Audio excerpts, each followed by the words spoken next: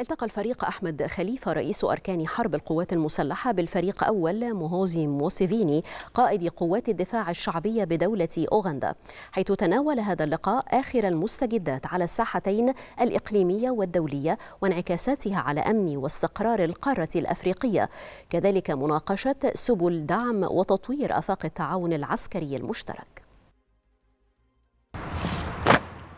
التقى الفريق أحمد خليفة رئيس أركان حرب القوات المسلحة بالفريق أول مهوزي موسيفيني قائد قوات الدفاع الشعبية بدولة أوغندا. والوفد المرافق له الذي يزور مصر حاليا حيث أجريت له مراسم استقبال رسمية بمقر الأمانة العامة لوزارة الدفاع وعزفت الموسيقات العسكرية السلام الوطني لكلا البلدين.